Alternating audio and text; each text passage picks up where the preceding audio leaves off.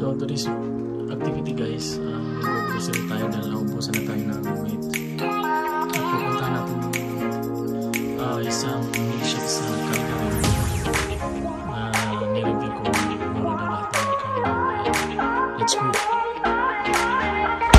Bago tayo mamalingki guys, uh, dami na tayo dito sa pagkasulina tayo. Tapos tayo na rin tayo ng loto. Baka manalo,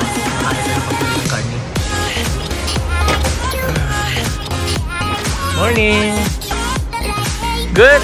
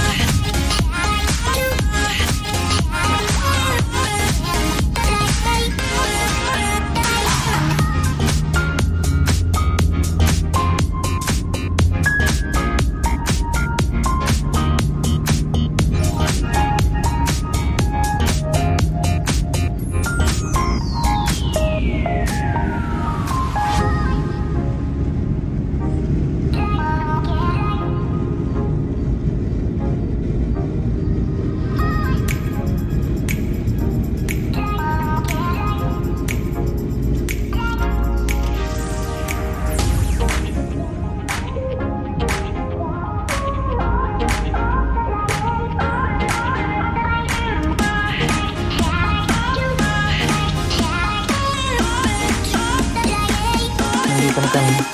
Ah, halos likod lang din siya pala ng PNP.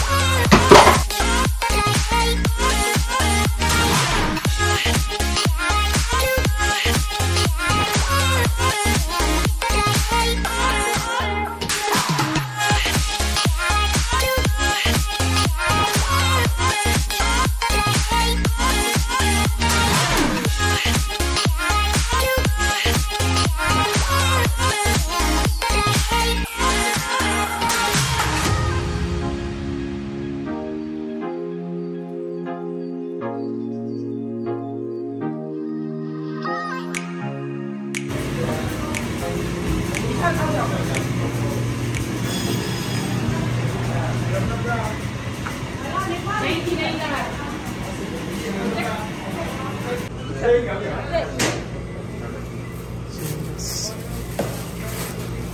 you. Thank you, my friend. Thank you.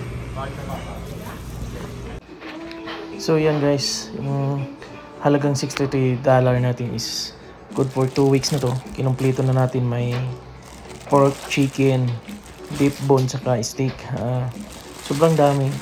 Good for 2 weeks na to.